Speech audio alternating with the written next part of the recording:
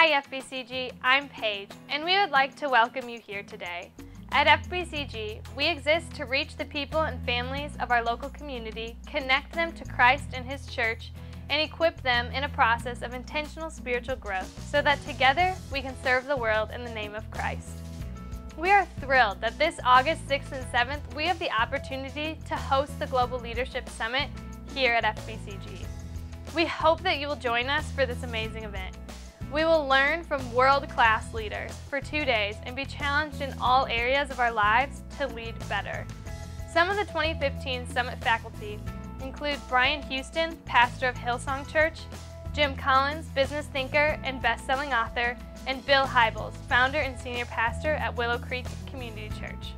This event is built on equipping and is also a wonderful reaching opportunity for our congregation.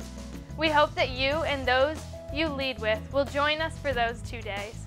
If you are a regular tender at FBCG, you can use the code found in your bulletin and in the Midweek Connections email for a special rate. There's a banner on the FBCG homepage that will take you to the registration. We have a new staff member who will be overseeing the Congregational Care and Support Ministries. Rather than having me introduce him, I will let him introduce himself. Hello, my name is John Hookinga. As Paige has said, I've been hired to be your Director of Congregational Care. I have a passion to come alongside those who are hurting, to provide support, to facilitate healing, and to point people to the ultimate source of support, healing, and restoration found in a personal relationship with Jesus Christ. My wife Janet and I have two adult married children and two absolutely adorable granddaughters. We've been at a church in Wheaton for the past 14 years where I had the privilege of serving on the elder board and where Janet and I served together in the marriage ministry, on the prayer team, and as first responders to a variety of needs on the shepherding team. We're excited to be here at FBCG and look forward with great anticipation to see how God will use us in this ministry.